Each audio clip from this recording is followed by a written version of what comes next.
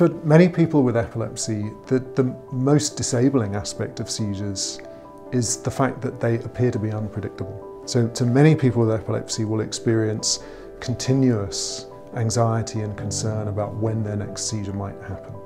We know from consultations with the epilepsy community that, that for many people with epilepsy, their highest priority would be to come up with some kind of method, technique, device that would allow that person to know how likely it is that they would have a seizure in the next period of time.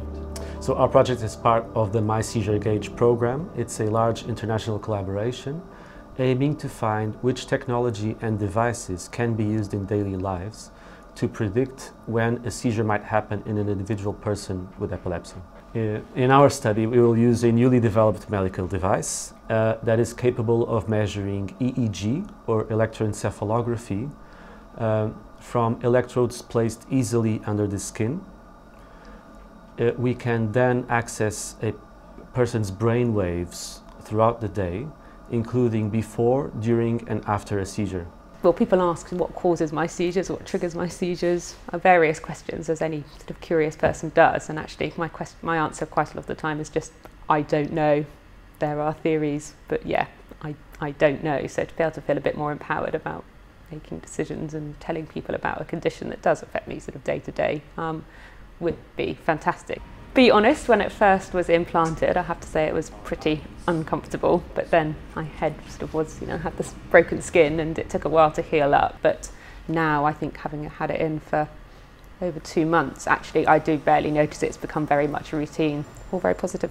The typical way EEG is recorded in the hospital is with simple electrodes that are glued onto the scalp and EEG can be recorded for usually a few hours and at most a few days. You, you really can't live your life with electrodes and wires glued onto your scalp. So subcutaneous EEG is, is really a step forward. In simple terms, what we aim to get from this project is uh, a number of people with epilepsy enrolled into the project and for them to live with that device for many months and during that time we would expect some seizures to occur. So at the end of that time, I really hope we'll have a robust way of extracting a signal from those data and using that signal to create some kind of warning or alarm or forecasting system for, for people with epilepsy. I would hope that at some point I'd be able to build up a clearer picture of um, when my seizures are occurring and when I might be more likely to have a seizure, when it might then inform whether or not I should be going for a long run or taking part in a big swim, whether I maybe should just be taking it easy for certain days and maybe confirming slight suspicions about when I think I've had seizures and, and so forth and also if there are any other indicators to what affects when my seizures happen. So early days but lots to learn I hope.